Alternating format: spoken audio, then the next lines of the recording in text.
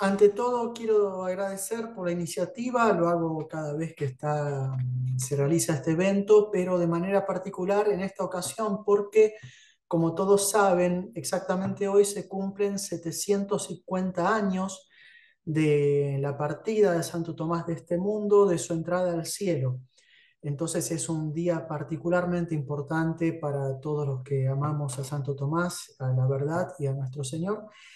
Em, además, eh, es el aniversario del célebre em, em, discurso de la conferencia que diera en el año 1974, hace 50 años, eh, Cornelio Fabro en el Campidoglio, eh, sobre Santo Tomás, maestro de libertad una conferencia espléndida, hermosa, para la cual Fabro se preparó con, todo cuidado y con, con, toda reverencia. Así que bueno, también a él de algún modo va, dedicado este, va dedicada esta presentación como agradecimiento y homenaje por tantas cosas que hemos recibido de él y por supuesto sobre todo a Santo Tomás, que es una luminaria para la iglesia que no ha sido ni será jamás superado y que es una referencia segura para todo hombre de buena voluntad que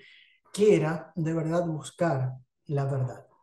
Sí, comenzamos y comienzo con una pequeña introducción porque todos conocemos más o menos la doctrina de la escuela tomista sobre el libre albedrío.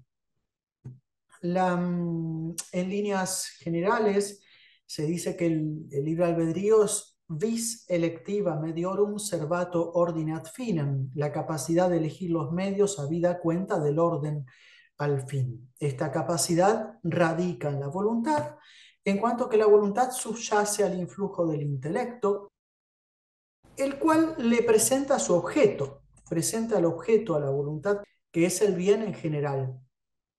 De aquí se sigue, se desprende que la voluntad goza de libertad de opción entre los objetos que no realizan plenamente la razón de bien. Eh, sin embargo, esta libertad de opción no se refiere nunca, nunca al fin, sino a los medios, y no se mantiene en la visión beatífica, el estado de plenitud y de felicidad eh, perfecta del hombre, puesto que Dios, visto intuitivamente, será amado de manera necesaria en cuanto a la especificación, el contenido de la, realidad amada, y en cuanto al ejercicio del acto beatífico, del acto del amor. Así, desde una consideración teológica, la libertad sería un medio para que el hombre pueda alcanzar la salvación, para que pueda definir desde esta vida su destino eterno. Pero ella cesaría en el estado de beatitud a no ser que se la considere en sentido figurado como situación definitiva de estar libres de del pecado, de la condenación, del demonio, de las miserias de la, de la condición humana actual, etc. O en sentido metafórico, en cuanto que se identificaría esa libertad con la necesidad imperativa del amor beatífico.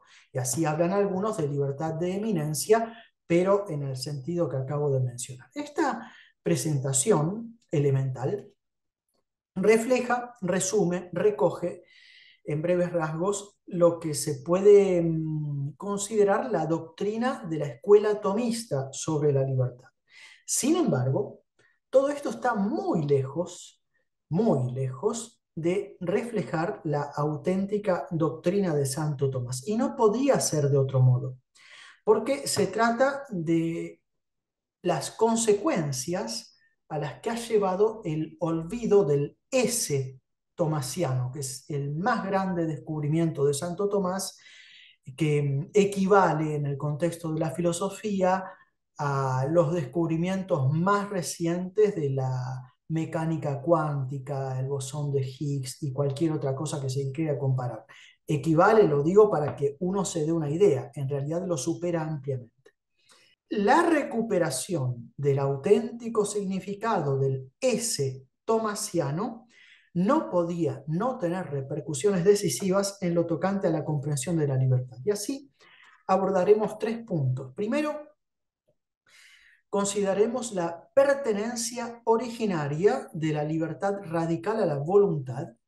Segundo, el ejercicio del acto libre y la moción originaria de la voluntad. Por último, la inclusión del influjo divino en la constitución misma del acto libre. Bien, primer punto elemental, esta pertenencia originaria de la libertad radical a la voluntad. Sabemos que el término libre albedrío, el primero que lo propone es Tertuliano en, el De Orazione, y después, poco después, Orígenes también. Después San, San, Agustín escribe un libro maravilloso de libro arbitrio. Santo Tomás recoge el término de toda esta tradición. Em, antiguamente se conocía de algún modo el tema de la libertad, pero el, término libre albedrío no se utilizaba. En cuanto a las divisiones, se solía distinguir la libertas a coaccione, estar libres de coacción, libertas a, miseria, eh, y libertas a peccati, terminología de San Anselmo que San Tomás sigue muy de cerca.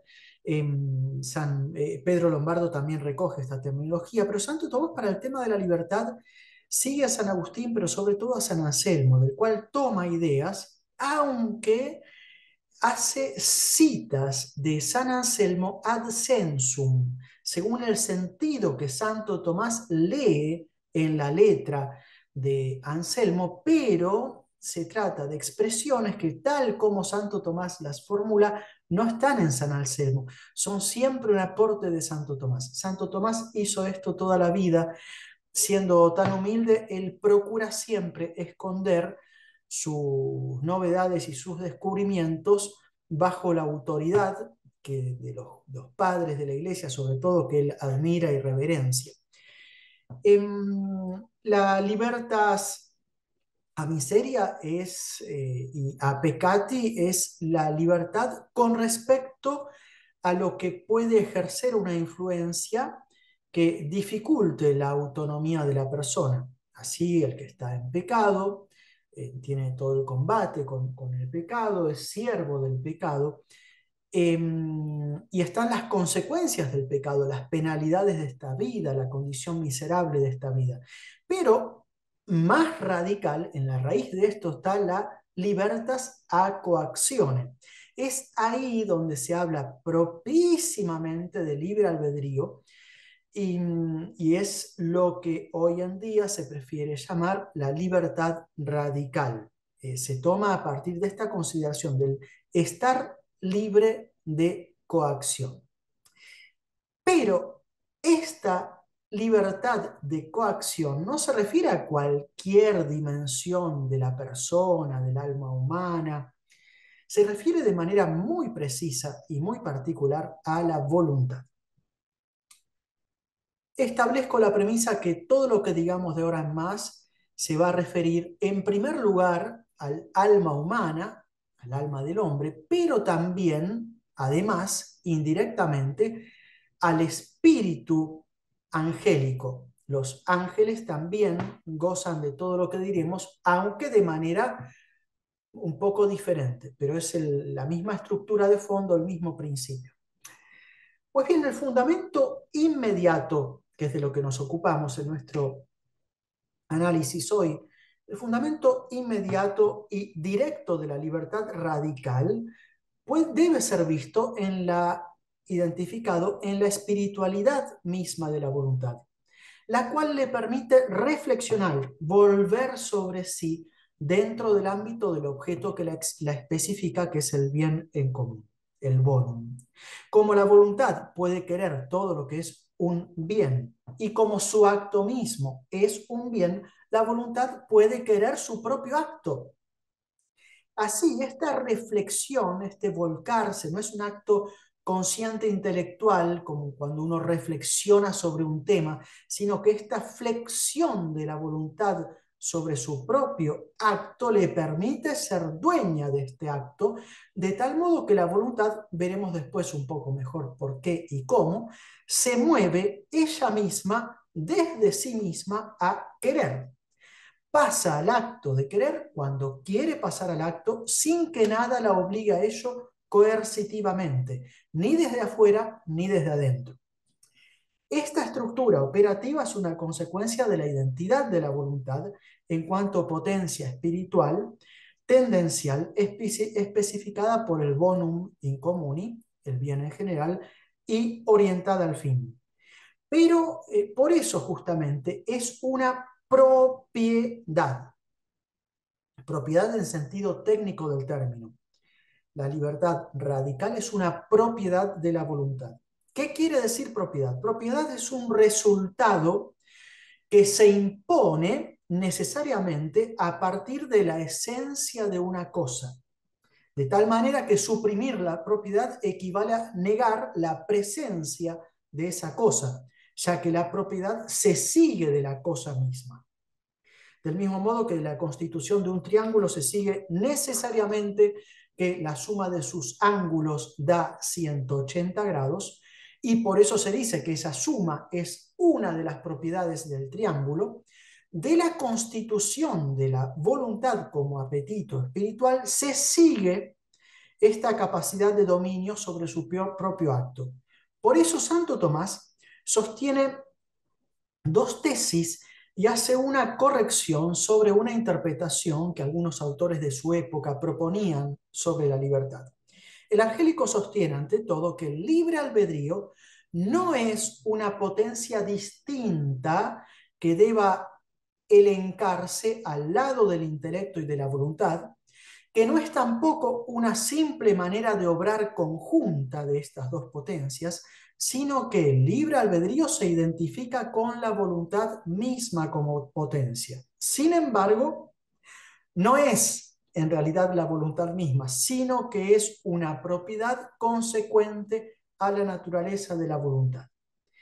En cuanto que la voluntad, gracias a esta propiedad, puede imperar, ordenar, comandar, este, ser la comandante, la que enseñorea los actos de las demás potencias, de todas, en este sentido, el libre albedrío, la libertad radical, afirma Santo Tomás, designa dinámicamente toda ánima, el alma entera. Pero como el libre albedrío es una consecuencia de la voluntad, cuando se lo define, como decía Pedro Lombardo, como liberum de voluntate judicium, juicio libre de la voluntad, lo digo a propósito así, lo traduzco a propósito así, Santo Tomás explica que liberum de voluntate judicium no quiere decir juicio que versa acerca de la voluntad, sino que se trata de una sentencia final que emana de la voluntad. La preposición latina de no significa la materia acerca de la cual versa un juicio, sería la voluntad, un juicio del intelecto, sería la voluntad en este caso erróneo, sino que de allí significa aquello que es fuente surgente denota el origen y la procedencia. Se trata de una sentencia que emana de la voluntad y por eso es un juicio, figuradamente, pronunciado libremente, desde la voluntad misma. Y por eso concluye Santo Tomás. De ahí que el hecho de que la elección sea libre, esto procede de la naturaleza de la libertad. Nuevamente, la propiedad en sentido técnico del término. Esta identificación de la libertad como propiedad de la voluntad es tan importante que Santo Tomás lo repite un sinnúmero de veces. No voy a citar, tengo que ir abreviando lamentablemente el, el tiempo. Aquí, en esta propiedad, se encuentra el núcleo originario inmediato y constitutivo de la subjetividad existencial. En cuanto que a partir de esta capacidad la voluntad ejerce su influencia no solo sobre ella misma, sino sobre los actos de las demás potencias y por eso mismo incluso sobre los objetos a los que se aplican esos actos.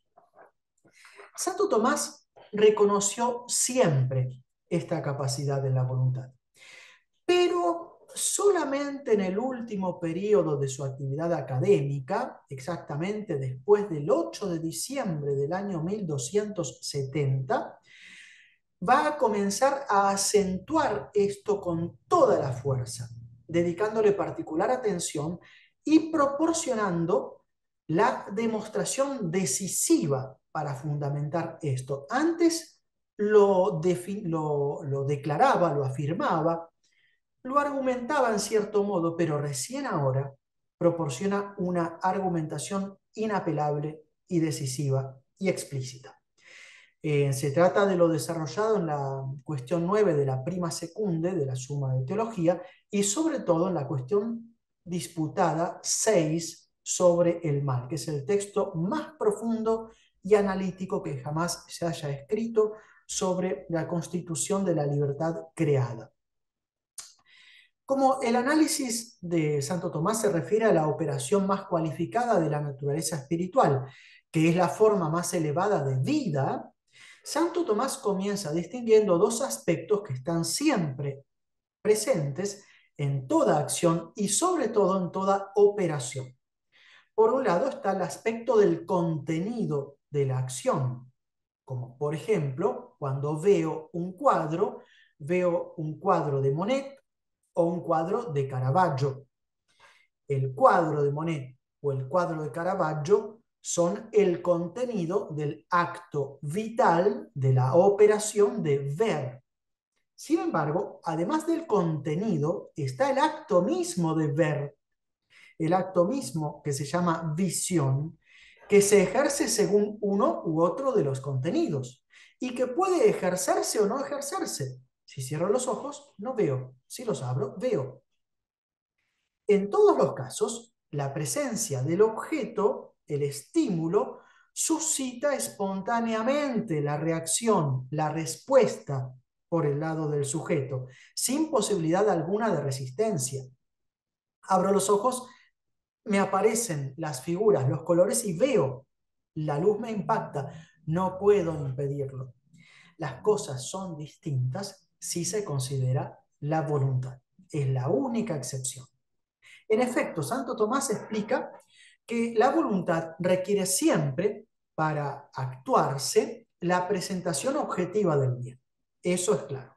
Esto quiere decir que ella requiere el concurso del intelecto, el cual no mueve a la voluntad como una cosa, mueve a otra cosa, una cosa que es causa eficiente, ejerce su influjo sobre otra cosa que sufre el influjo de la causa eficiente, sino que el intelecto mueve a la voluntad sicut ostendens ei id in quod tendere debeat, como mostrándole, indicándole aquello hacia lo cual conviene que tienda, aquello hacia lo cual debería tender, debe tender. Esta moción del intelecto entonces es al modo de presentación, de ostentación, de propuesta. La voluntad siempre se mueve a partir de esta presentación propositiva. Esto se refiere al momento del objeto, del contenido del acto. La entrada del objeto al alma requiere la mediación insustituible del intelecto. Después, otra cosa distinta es la respuesta subjetiva a esta presentación.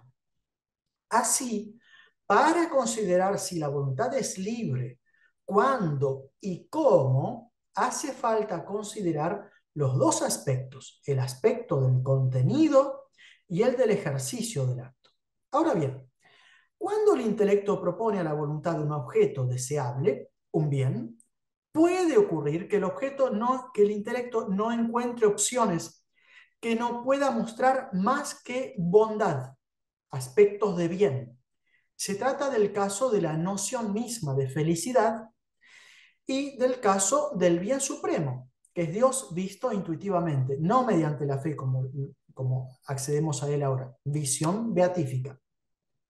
En esos casos, el intelecto no puede discurrir entre opciones porque el objeto no deja margen a opciones, no ofrece ningún aspecto bajo el cual carezca de apetibilidad.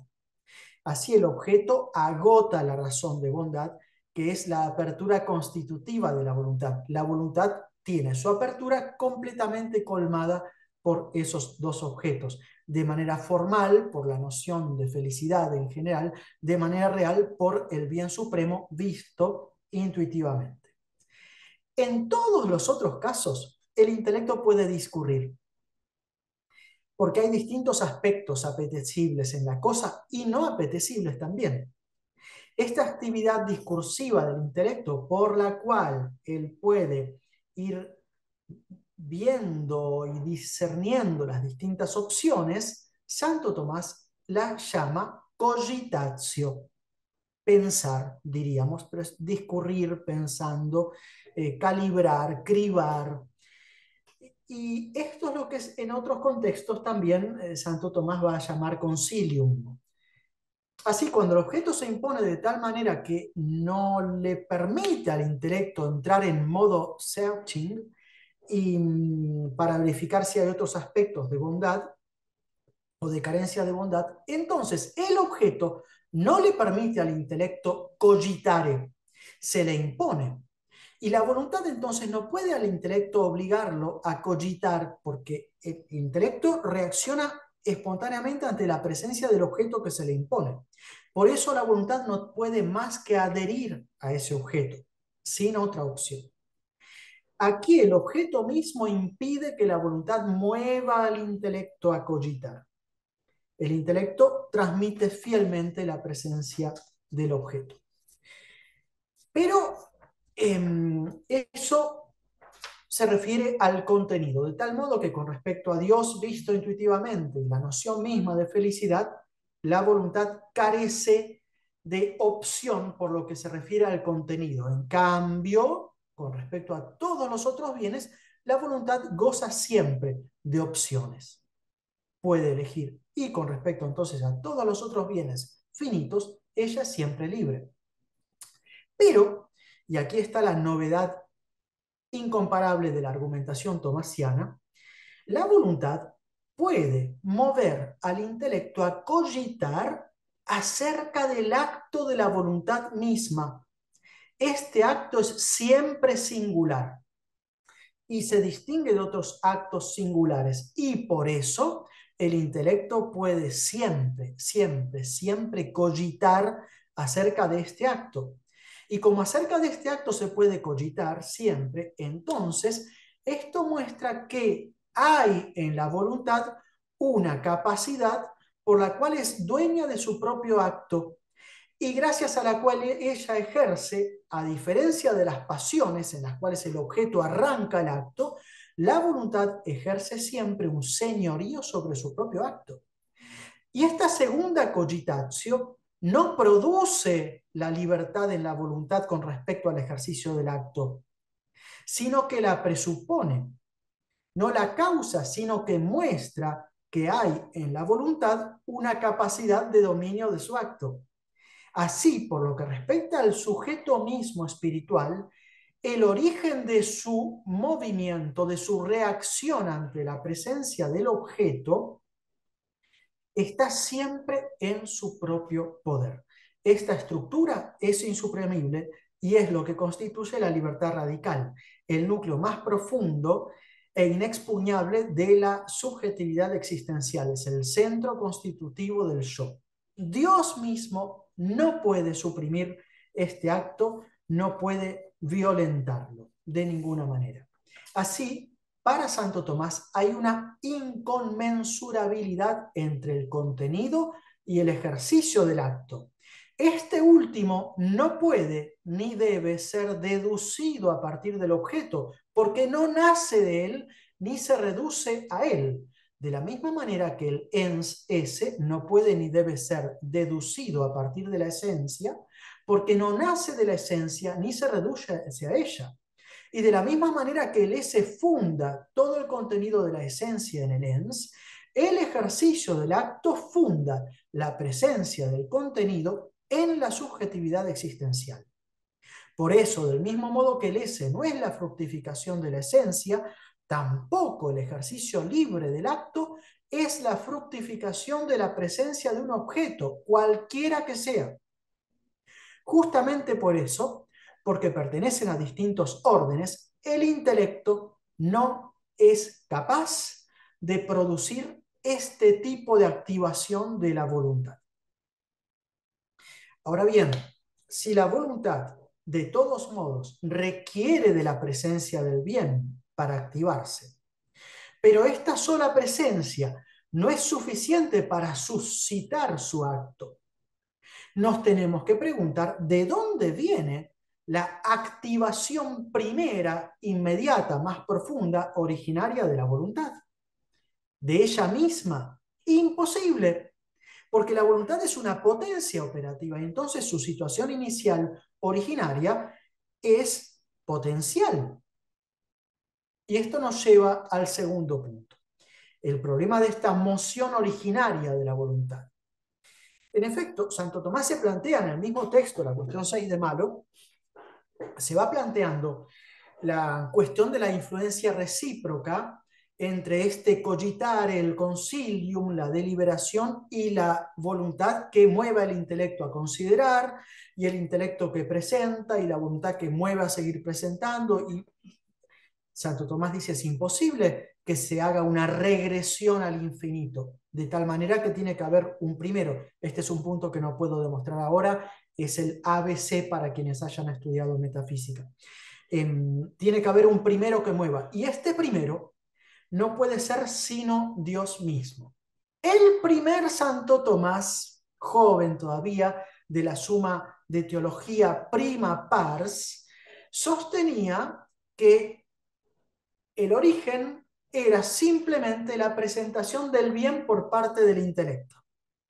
Después Santo Tomás reflexiona, profundiza y se da cuenta que no, y viene a, los temas que estamos diciendo en este momento.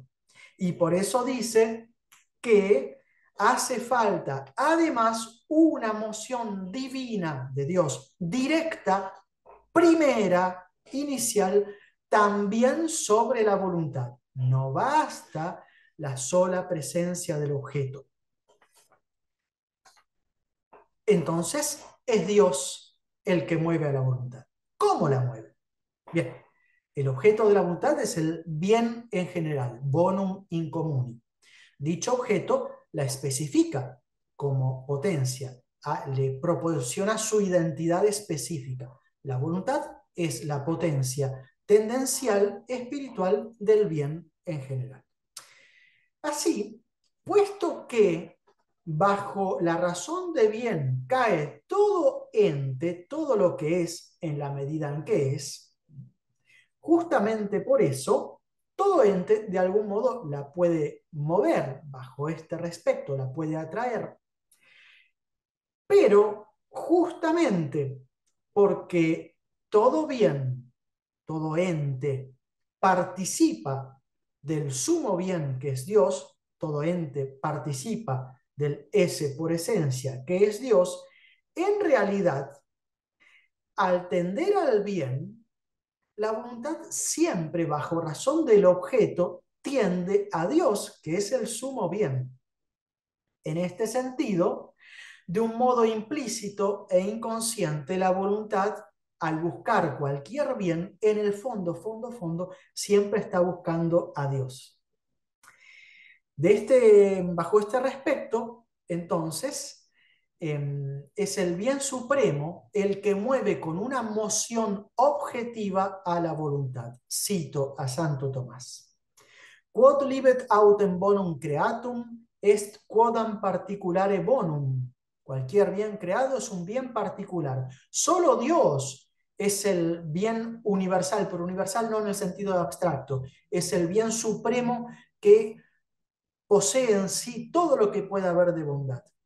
Por eso, solo Dios plenifica la voluntad y puede moverla suficientemente como objeto. Esto va a ocurrir de modo necesario en la visión beatífica. En este momento, en esta vida no. Sin embargo, detrás de cualquier bien está la aspiración al bien supremo que atrae. Pero, aunque la voluntad esté especificada en cuanto voluntad por el bien, sin embargo, ella no apetece todos los bienes de la misma manera. Dentro de esta especificación constitutiva, la voluntad es activada por Dios con una inclinación hacia el bien de la persona a la cual la voluntad pertenece como potencia operativa. Y esta es la manera más propia y más profunda de mover de Dios. Añade Santo Tomás, similiter autem et virtus volendi a solo deo causatur. De manera similar, también la fuerza, la capacidad activa de querer es causada por solo Dios. En efecto, querer no es otra cosa que una inclinación, una cierta inclinación hacia el objeto de la voluntad, que es el bien universal. Ahora bien, inclinar hacia el bien universal es algo propio del primer motor, de tal manera que es propio de Dios mover de ambas maneras la voluntad, pero máxime, estoy citando a Santo Tomás, segundo modo, sobre todo de la segunda manera, interius eam inclinando. Aunque es prerrogativa de Dios atraer la voluntad desde afuera, sin embargo, y termino la citación, lo más propio de Dios es inclinar a la voluntad desde adentro. Esto solo Dios lo puede hacer. Esta inclinación no debe ser identificada con la simple apertura constitutiva de la voluntad hacia el bien en general, sino que presupuesta esta apertura constituye una activación primigenia por la que la voluntad apetece su primer apetecible, que es el fin último, la beatitud.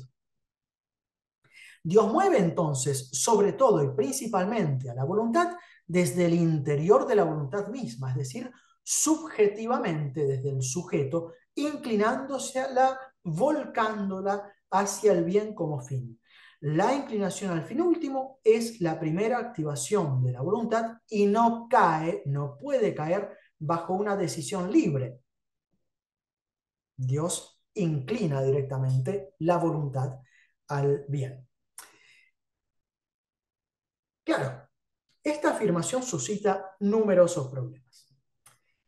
En efecto, todos sabemos que hablando de manera objetiva, la criatura espiritual no puede encontrar más que en Dios, en solo Dios, su felicidad. Esto es el ABC. Y esto se puede demostrar incluso, no hace falta ser católico, pero también es una cuestión que los católicos saben además por la fe católica. Bajo esta consideración, el fin último de la criatura espiritual, hombre, ángel, no puede ser otro que Dios. Pero si las cosas están así, ¿deberá acaso decirse que la voluntad tiende explícitamente a Dios en cuanto fin último desde el primer instante de su activación? Santo Tomás sabe perfectamente que la mayoría de las personas no busca a Dios como fin último. De hecho, hay una cantidad enorme en nuestra época de ateos. Quiere decir que la voluntad de estas personas no está activada en orden al fin último. Imposible. Decir que la voluntad está activada y decir al mismo tiempo que está activada hacia el fin último es decir lo mismo. De modo que afirmar una activación de la voluntad y negar al mismo tiempo su orientación al fin último es incurrir en una grosera contradicción. Y esto nos plantea una aporía. Por un lado, sabemos que Dios activa la voluntad orientándola al fin último, que es en realidad Dios mismo. Por el otro, sabemos que son más bien pocos los hombres que buscan realmente su felicidad en la unión con Dios. Dos certezas, pero en colisión. Y a esta dificultad Santo Tomás responde diciendo que la activación subjetiva por la que Dios inclina la voluntad al fin último es una activación indeterminada. Se refiere a la beatitud o la felicidad, la bienaventuranza in comuni, en general, según la razón común de beatitud. Y no se refiere a la beatitud en esta o en aquella cosa.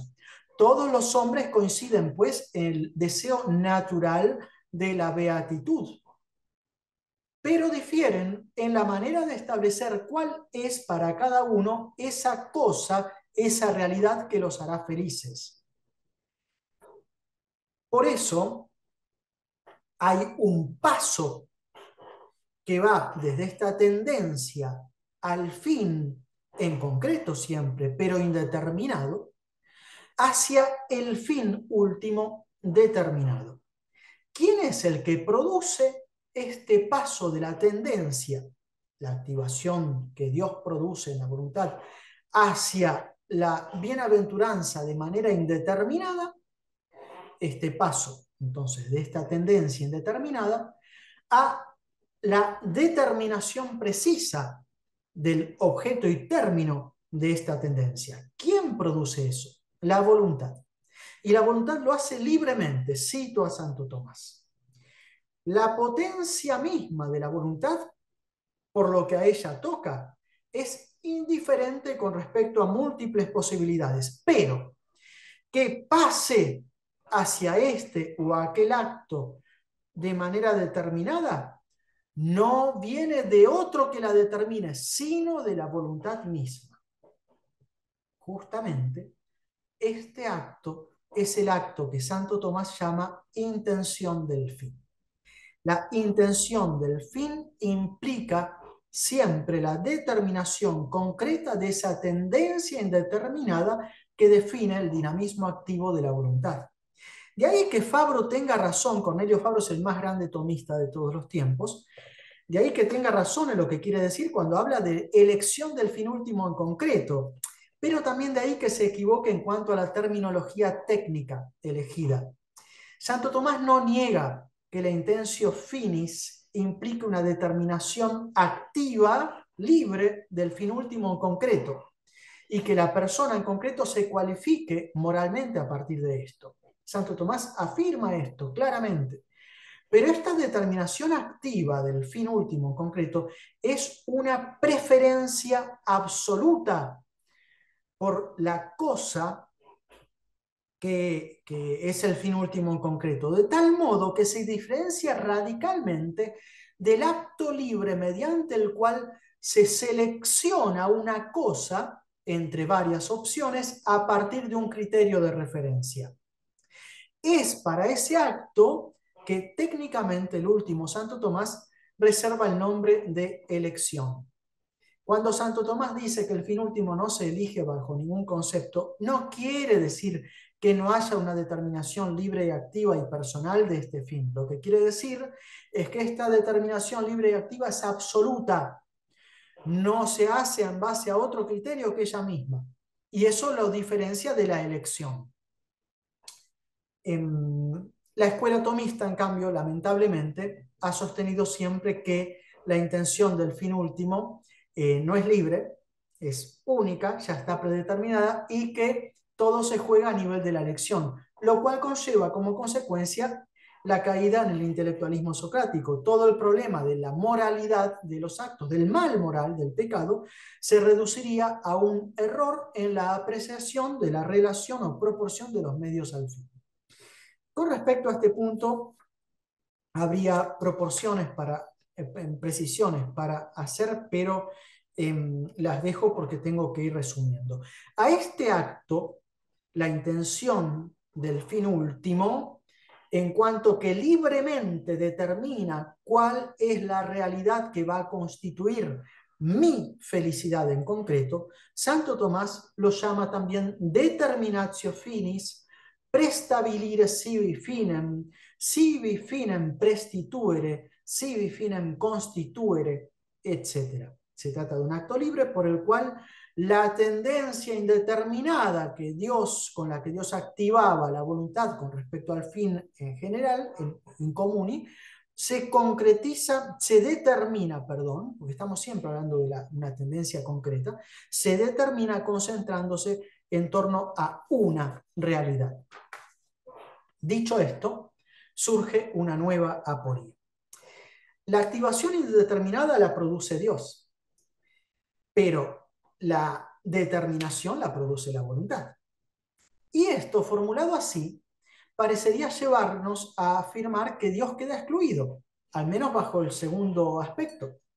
Santo Tomás parece sostenerlo, tiene un texto que cito. Dios mueve la voluntad del hombre y sin, este, sin esta moción universal el hombre no puede querer nada. Pero el hombre mismo se determina a sí mismo por la razón a querer esto o aquello.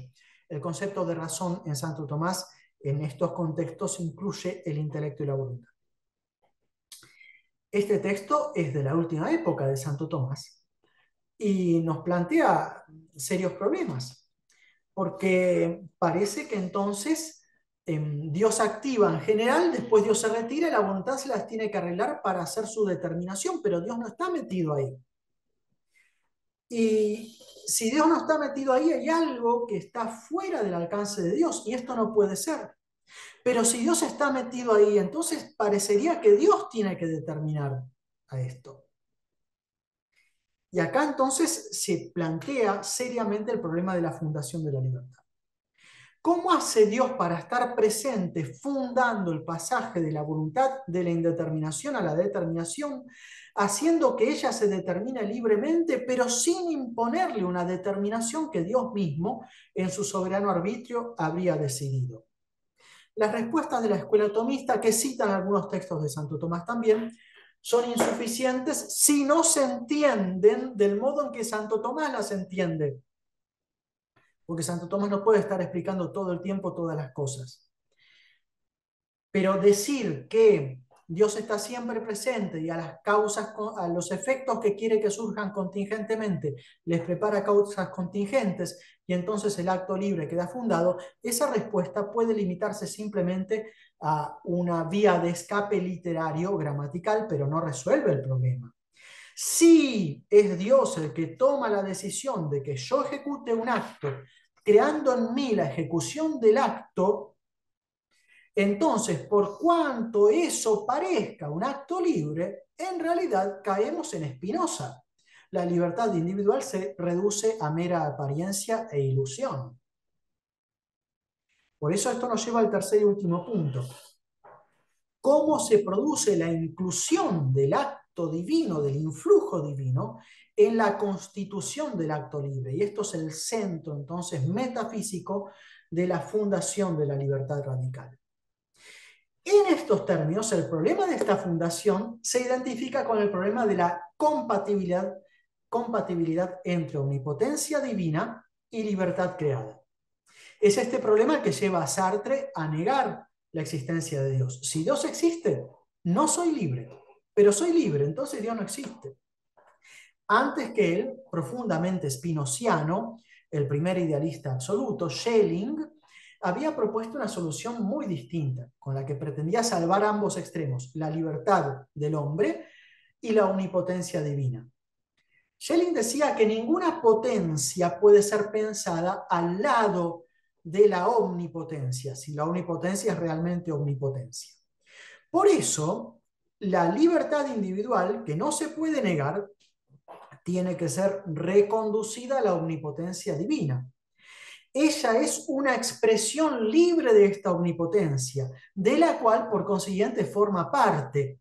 Por eso Schelling sostiene que para fundar la libertad hace falta el panteísmo. En definitiva, vuelve a caer en Spinoza.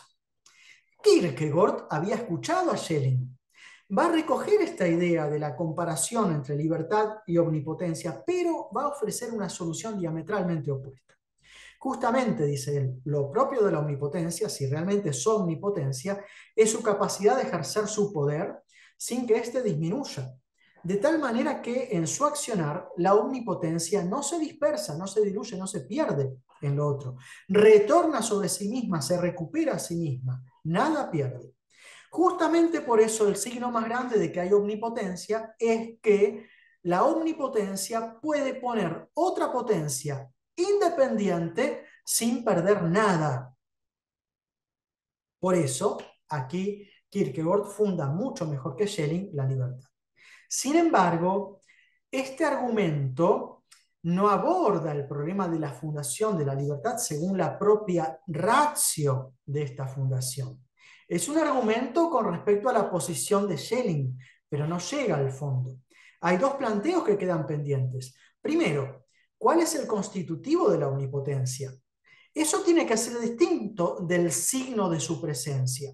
Que haya una libertad creada muestra que hay una omnipotencia, está bien, pero no constituye la omnipotencia. Y es la, omnipotencia en su constitución lo que posibilita a la omnipotencia hacer una libertad creada.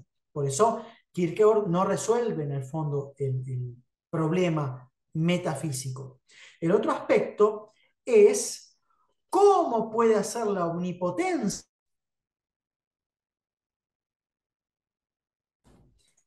y mm, a estos dos interrogantes, Santo Tomás da una respuesta maravillosa. Es el problema del fundamento extrínseco y del fundamento intrínseco de la, de la libertad. De la libertad. Em, con respecto al fundamento extrínseco, que es la omnipotencia divina, bueno, Santo Tomás explica que Dios es el ipsum esse subsistens, plenitud infinita de percepción, ipsum esse subsistens omnibus modis indeterminatum, no por privación como el unum neoplatónico, sino por emergencia sobreabundante de perfección. Indeterminación de perfección suprema y absoluta. El S, nosotros sabemos, gracias al ENS, que es comunicable. De hecho, gracias a eso, el ENS es. El ENS es el resultado de la comunicación del S. Naturalmente, si Dios quisiera comunicar plenamente el S en toda plenitud, bueno, ahí tendríamos lo que se llama Santísima Trinidad, a lo cual accedemos solamente por fe y se sabe por la revelación, nada más. Pero, em, y es justamente la Trinidad lo que hace posible que haya creación, que el S sea comunicable. Pero em, además sabemos que em, el S sigue siendo S en, los distintos grados y niveles en los cuales se realizan los entes. Por eso el S es una perfección que no, no se agota por ningún otro nivel de perfección, sino que supera toda perfección. De ahí que el S creado sea una perfección intensiva. En este sentido, él es reflejo de la plenitud suprema del ipsum esse subsistens. Es esto lo que Santo Tomás quiere decir cuando llama al S, actualidad de todos los actos y perfección de todas las perfecciones. Esto quiere decir que en la plenitud soberana del ipsum esse subsistens, todos los grados inferiores de realización posible del S están contenidos. Y esto es justamente la omnipotencia. Dios puede hacer todo lo que entre bajo razón de ente. Tiene este poder absoluto. Esta es la, entonces la libertad por esencia que pertenece al ipsum esse subsistens, tercio modo per se dicendi. Es propiedad del ser mismo divino. Resuelto de esta manera, la más profunda y radical, el problema de la omnipotencia, hay que abordar el otro problema, el del fundamento intrínseco de la libertad creada. O sea, ¿cómo puede ser que haya fuera de la omnipotencia una libertad verdadera y no ilusoria? Una libertad tal que su ejercicio dependa de su ejercicio dependa la autodefinición eterna, real de una persona plenamente responsable y que al mismo tiempo esté fundada en todas sus dimensiones por la omnipotencia.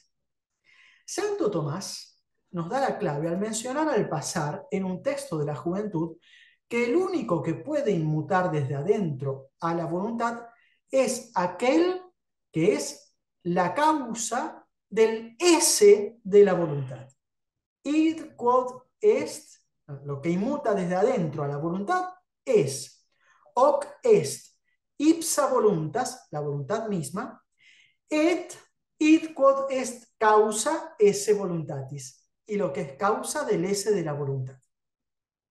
Esta observación es importantísima, reconduce todo el tema al ese participado. Sabemos que Dios es el ipsum esse subsistens omnibus indeterminado de todos los modos. La creación es la comunicación fuera de Dios de este S según distintos grados. Cuando el S es comunicado no en toda su plenitud, ahí lo que surge es la Trinidad, surge es una manera de expresarme, cuando el S es comunicado no en toda su plenitud, entonces el S decae de esa plenitud. Lo primero que ocurre entonces es que el S no es subsistence, Dios, sino que es inherens, pertenece a un ens. Sin embargo, no deja de cumplir su función de hacer ser y por eso el primer efecto que produce el S es la subsistencia. De ahí que el primer predicamento del ens sea la sustancia. Pero hay una manera muy particular en la cual el S hace subsistir. Es lo que ocurre cuando el S está ligado a, es poseído de tal manera que no se puede pertenecer. Esto les pertenece a las formas subsistentes, los ángeles y el alma humana. Y así, esto se traduce a nivel operativo en una segunda flexión del S. Lo que era la plenitud universal del S subsistence, de perfección, en la cual convergen el acto primero y el acto segundo, se debilita en la participación y se desdobla quitando esa universalidad total del S y desplazándola al nivel operativo. Es de ahí y es por eso que surgen en la criatura espiritual las dos aperturas espirituales para que el S participado recupere la plenitud que tenía en, en el S subsistente separado por esencia. Y por eso la criatura espiritual es capaz de Dios, tiene la apertura universal del intelecto, la apertura universal de la voluntad.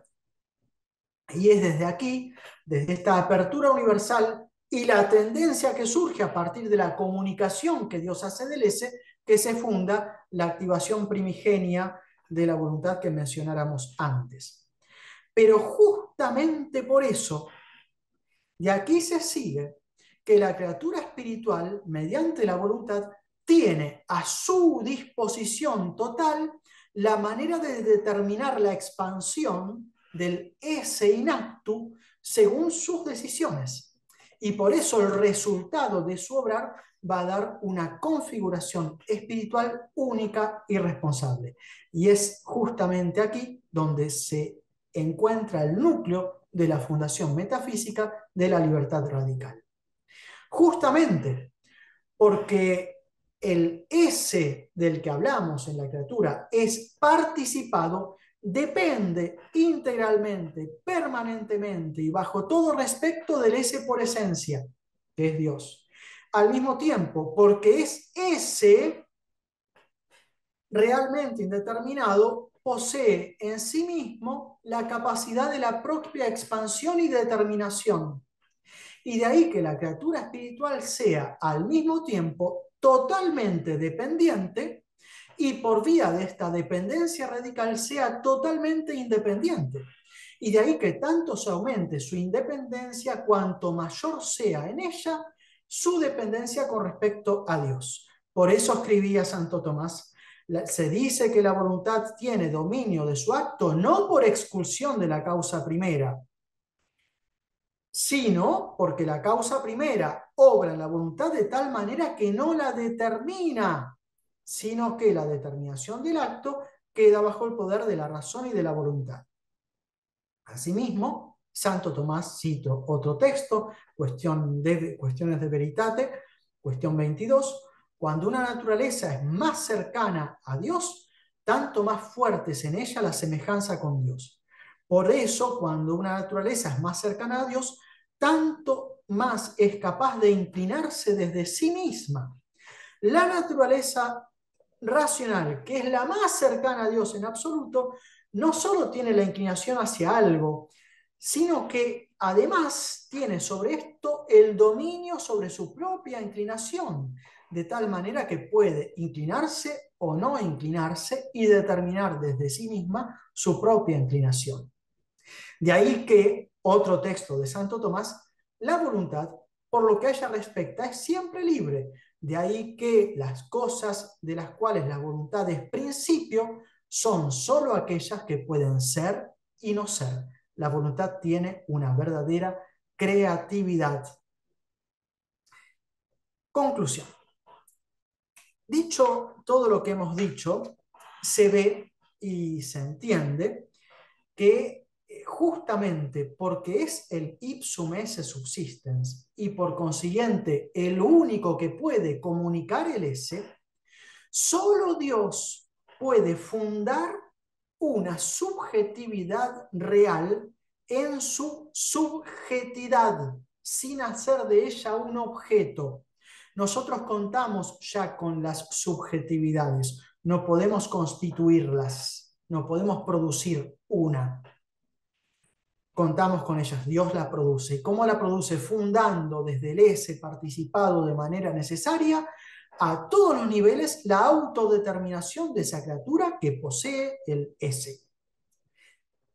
Además, se entiende que en razón de la libertad así entendida, porque la libertad, la voluntad libre, es el principio originario de lo que puede ser y no ser, en cuanto al ejercicio del acto y a la puesta al acto de todo lo que entra en la subjetividad, la voluntad libre realiza de la manera más profunda la inmanencia espiritual. ¿Por qué? Porque en el orden del conocimiento la inmanencia solo formal de las especies y formas y grados de perfección de las cosas que asimilamos.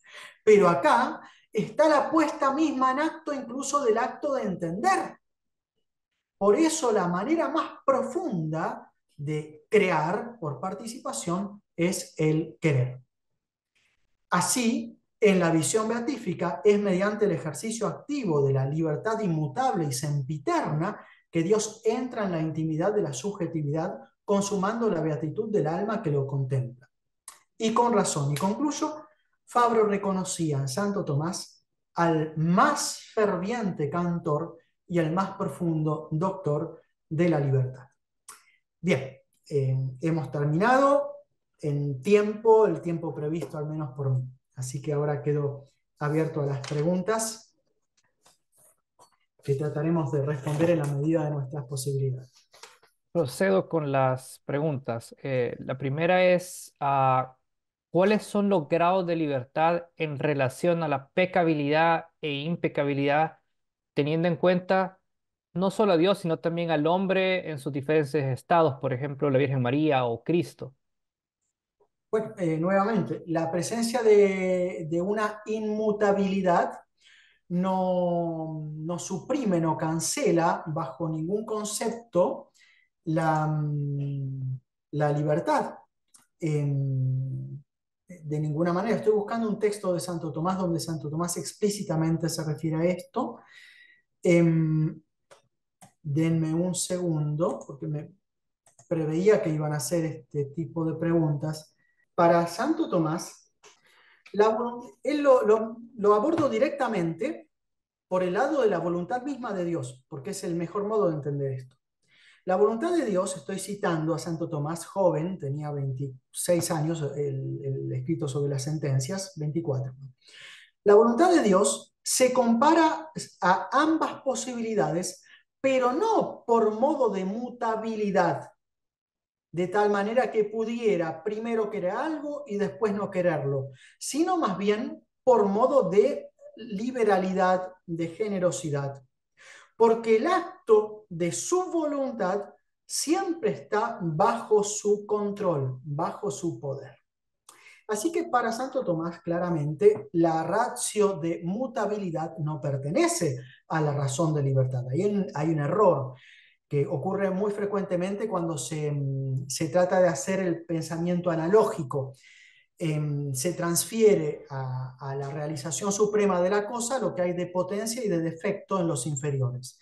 No, hay que decir que, para poner el ejemplo de la, de la, de la impecabilidad de Cristo, por ejemplo, que es más fácil, el Señor Jesucristo, nuestro Señor, tenía desde el primer instante de la concepción la visión beatífica. Así que su situación es exactamente la misma que la de Santo Tomás en el cielo.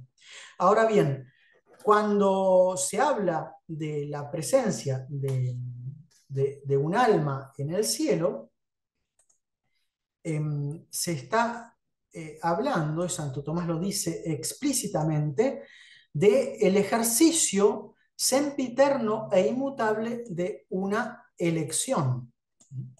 Eh, voy a leer el texto porque si, si no lo leo no lo van a creer eh, los tomistas. Santo Tomás dice entonces, hay ciertas cosas que están ordenadas al fin último de la bienaventuranza, que se unen, se conjugan, se confunden con el mismo fin, como ver a Dios, amarlo, etc. Y con respecto a estas cosas, habrá sempiterna y libre elección. Lo digo en latín, quedam ordinata sunt ad fine multimum beatitudinis, que ipsi fine fini coniunguntur, ut videre, amare tuius modi, et respectu orum, erit sempiterna et libera electio. Y es lo mismo que afirma Santo Tomás en la cuestión 6 de Malo, con respecto al ejercicio del acto, nada quita, nada puede suprimir la libertad soberana sobre el ejercicio de ese acto, ni siquiera la visión beatífica. Y este es el error de todos los tomistas, muchos de ellos amigos míos que yo conozco, del mismo modo que es dificilísimo entender la noción tomasiana auténtica del acto de ser, es sumamente difícil entender realmente la noción tomasiana de la libertad del acto. Em, lo mismo debe decirse entonces de toda persona que em, esté en la visión beatífica. El caso de la Virgen María, ella cuenta con una asistencia especial del Espíritu Santo por el cual está protegida de modo especialísimo para que no caiga en pecado. Sin embargo, ella no tiene la impecancia ontológica, es distinto. Hay una protección existencial, es otro problema. No tuvo la visión beatífica desde, el inicio. Em, y después, em, los ángeles tienen una situación semejante, salvo que en ellos hay un solo acto que define para siempre el uso de esa libertad. Lo que ocurre en la eternidad beata, análogamente también en el infierno, es que, si pudiéramos, lo uso con una imagen ahora, es, un, es una, una metáfora, un ejemplo que voy a utilizar, pero es como si pudiéramos sacar una foto de una flor en el momento mismo en que florece, pero sin lograr que ese acto se fije, manteniéndola en toda su riqueza y vitalidad. Es así como Dios es feliz durante toda la eternidad sin transcurrir de a poco. Dios no está en el tiempo, está en la eternidad. Algo semejante va a tener por participación la criatura beata y también análogamente la condenada, pero por otros motivos. Así que bueno, la libertad va a fijarse, cristalizarse sin dejar de ser libertad y sin convertirse en necesidad. Pasamos a otra pregunta. La siguiente pregunta que tengo es, ¿qué consecuencias tiene la libertad radical de Santo Tomás en la polémica de Auxilis? Bueno, lo que acabamos de decir es la solución a la, polémica de Auxilis. Es la solución, lo que pasa es que no lo vio nadie, porque la solución pasa necesariamente por entender qué es el S intensivo. Y como nadie entendió el S intensivo, hasta Cornelio Fabro, de alguna manera Gilson, ese problema no tenía solución. Todas las soluciones de Báñez, después la gracia suficiente, la gracia eficaz, la premoción física, son todas explicaciones eh, vacías, vanas, que eh, cubistas, diría incluso, y alambicadas, que obedecen a la confusión entre el S y la existencia. Entonces, justamente la solución es esta que no inventamos, que está en Santo Tomás, hay que leerlo simplemente y dejarlo hablar, pero que a causa de la incapacidad para entender el S intensivo, siempre quedó eh, escondida, eh, obnubilada, opacada, opacada. Bueno, la siguiente pregunta es, eh, Cornelio Fabro, él introduce este concepto sobre eh, creatividad participada para explicar la libertad. Claro. Este, entonces, igual Santo Tomás, por ejemplo, en las cuestiones sobre malo, él parece indicar que no es Dios el autor de la obra mala de la criatura. Entonces, pareciera ver que la noción de libertad hay una especie de creación ex nihilo del acto de, pareciera. entiendo bien la pregunta, pero ahí hay que evitar hacer del mal un ente. El mal es siempre privación. Y entonces el acto malo, en todo lo que tiene de acto, presupone el acto de ser y la operación de la voluntad. Todo eso es carga positiva, es perfección y exacto. Y todo eso entonces, en toda la cascada viene del autodominio y control de la voluntad sobre su acto, que presupone el acto de ser participado intensivo y presupone entonces la causa primera que proporciona ese acto intensivo. En todo eso viene de Dios, pero la falta de orden que ese acto tiene al fin, eso viene solamente de la voluntad libre creada. Por eso, en el orden del mal, en lo que hay de privación, la causa primera del mal es la criatura mala. Eh, y Dios no es causa ni directa ni indirecta del mal. Santo Tomás lo afirma en otro contexto explícitamente. Te pregunta, ¿considera usted que es posible un argumento moral de la libertad para la existencia de Dios? No, ahí hay que evitar la confusión. todas lo que llaman hoy en día las vías antropológicas o de la subjetividad o del espíritu humano son todos, todos, todos intentos vanos que terminan en la inmanencia y terminan por hacer de Dios la proyección del fondo del espíritu humano y por consiguiente terminan por darle la razón a Feuerbach, a Nietzsche y, a, Marx. E, esto es muy grave, eh, muy grave. y siempre están los que coquetean con estas cosas, tal vez por incapacidad, por falta de penetración metafísica por incapacidad de entender las vías tomasianas em, y buscan siempre el, deseo de buscar algo alternativo y coquetear con la... Pero es absolutamente imposible una vía por estos lados. En cambio, el análisis ontológico, metafísico de la estructura de la libertad, tal como lo hemos presentado, es reconducible a la primera vía, a la segunda de algún modo a la cuarta. Pero esto es otro tema. No es el argumento moral y no es el argumento que va del orden de la voluntad al deseo de la felicidad en general. De ahí no se desprende la existencia de Dios. Si Dios existe, Él es el objeto que va a hacer feliz a la voluntad. Pero de que la voluntad busque la felicidad no se sigue que Dios exista. Eso hay que demostrarlo por otros caminos. Eh, la siguiente es, gracias por la ponencia, padre. Mi duda sería la siguiente, y teniendo en cuenta lo que dice Fabro de que el ateísmo siempre implica un trauma en la libertad, ¿acaso esto implica que el ateo, por ser ateo y en la medida en que no retracte su ateísmo, está impedido de poner plenamente su acto de libertad? Bueno, ahí tenemos que hacer una distinción muy precisa hay que distinguir la libertad radical, la constitución de la libertad, que es de lo que hemos hablado en su fundación, la estructura ontológica de la libertad. Hay que distinguir eso por un lado y por el otro, el paso al acto libre.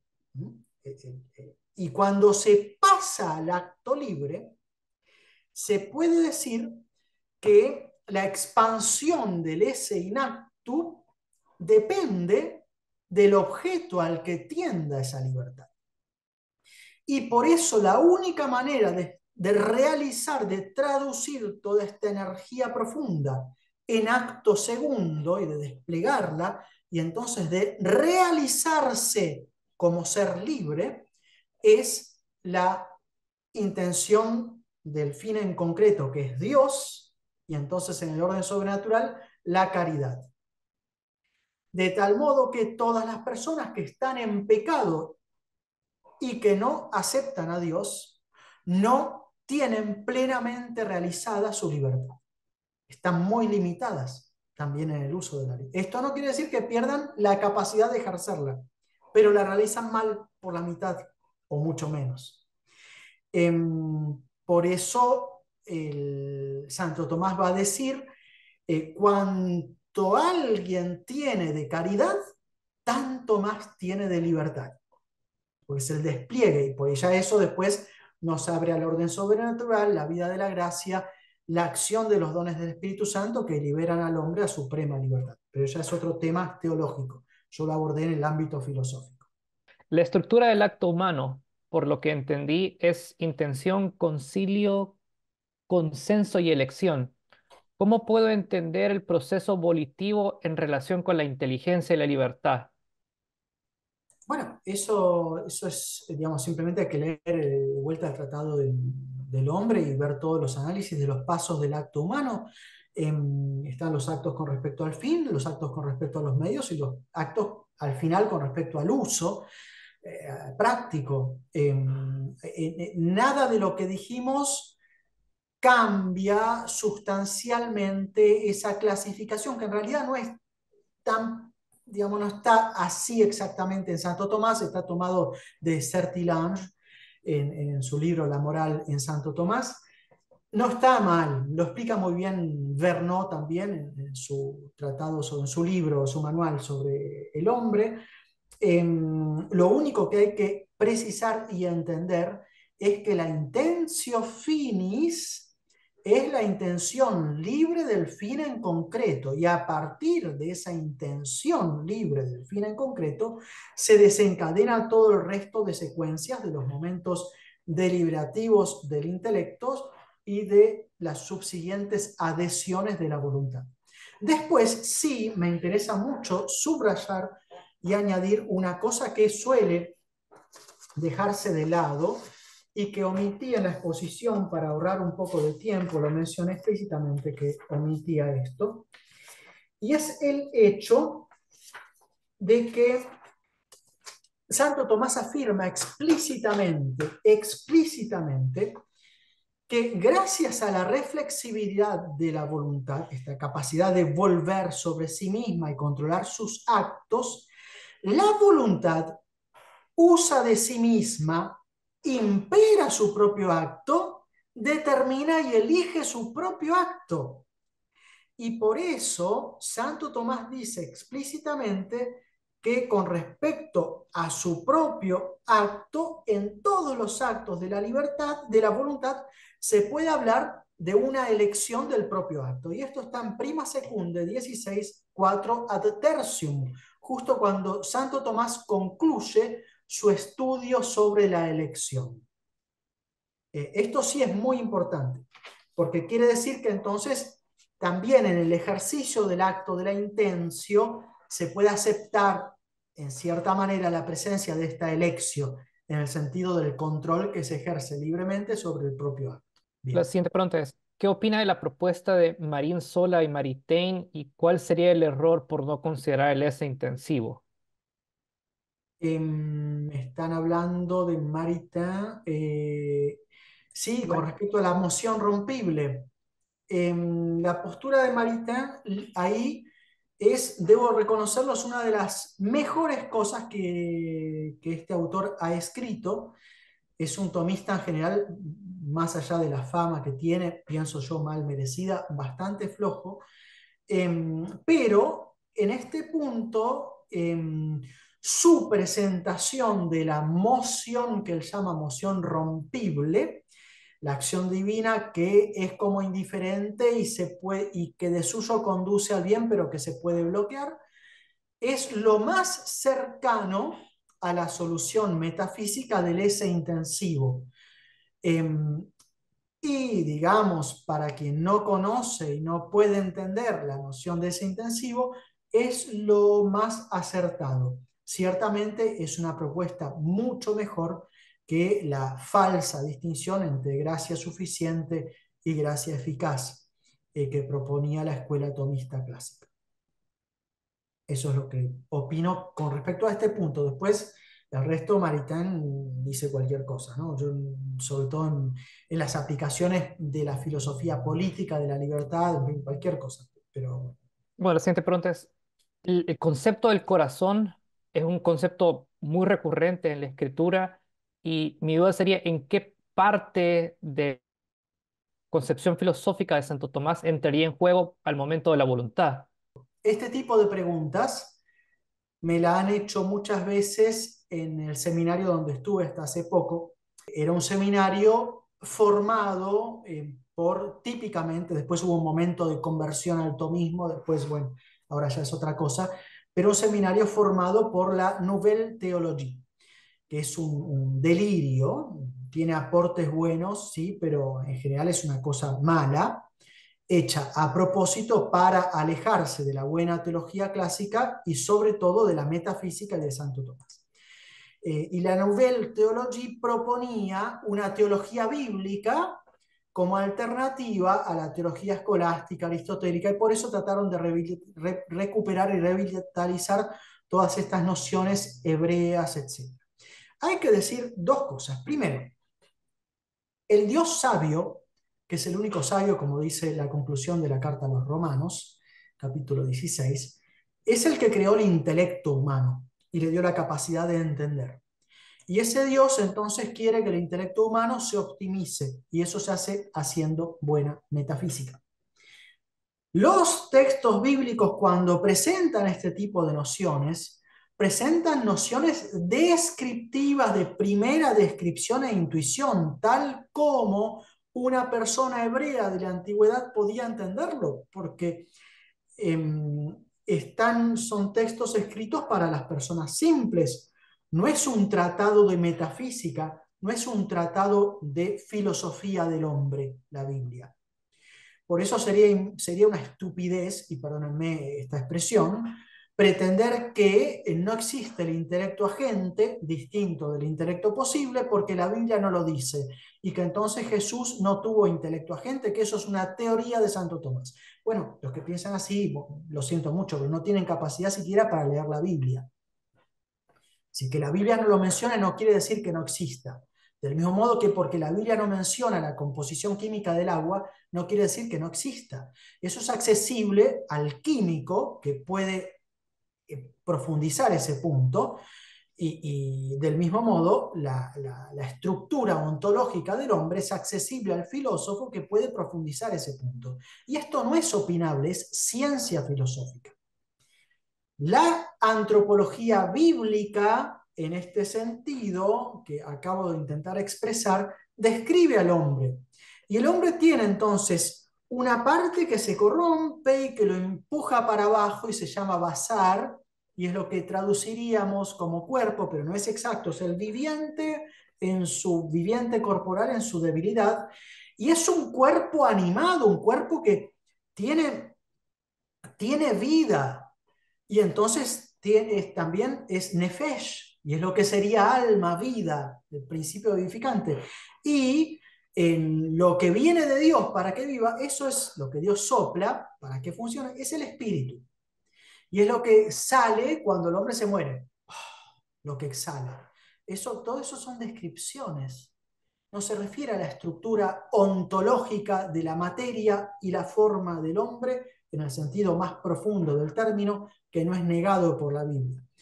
El corazón en el sentido bíblico expresaría lo más profundo de la constitución existencial de la persona humana. En este sentido, de manera descriptiva y aproximativa, figurada, si queremos, la noción bíblica de corazón expresaría lo que se quiere decir cuando se habla de la libertad radical como núcleo originario de la subjetividad. Pero hay que hacer estas precisiones porque si no se hace una mezcolanza enorme y se hacen propuestas eh, malas en filosofía y en teología sobre todo que apuntan a una falsa dialéctica que tiene su origen próximo a la historia en la Nouvelle Théologie de Lubac, eh, Congar, eh, Chenu, eh, sobre todo de Lubac, Danielou, después von Balthasar. Bueno, para, para, terminar, la última pregunta es, ¿qué obra recomendaría para un entendimiento profundo de la libertad en el tomismo? Bueno, em, no están las sobre los... los hay poco escrito para, para este tipo de profundizaciones, están las cosas que escribió Cornelio Fabro en varios artículos en italiano, hay algunas cosas traducidas al castellano.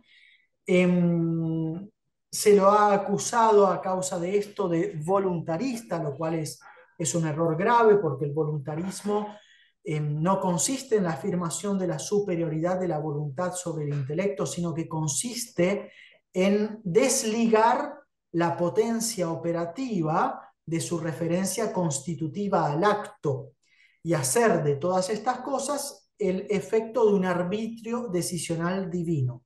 Ese es el voluntarismo. Em, pero están los dos libros, al menos el libro de Fabro que puedo recomendar, Riflessioni sulla libertà, em, de Maggioli, editore Perugia, 1983. Después está el artículo sublime, Atto esistenziale ed impegno della libertà, de Divus Thomas, de, también del año 1983. Em, la última parte de ese artículo fue publicada en la revista Gladius, Argentina, de 1986, el número 2, si mal no recuerdo. Em, hay que decir que es la última parte que no se entiende si no se lee la primera parte del artículo. Em, por eso, bueno, eh, hace falta leer la otra parte que no, ha sido traducida al castellano todavía. No sé si los que están haciendo el trabajo de, de la publicación de las obras de Fabro algún día lo van a traducir al castellano, estaría bueno que, que lo pudieran hacer. Em, pero bueno, el, el, único que ha profundizado estas cosas de manera pertinente es Cornelio Fabro. Los demás que yo conozca, que yo sepa, no han llegado a identificar estos puntos. Hay algunos autores después en Italia que han tratado de manejarse, pero siguiendo siempre lo que Fabro ha, mencionado. En castellano em, no conozco otro autor.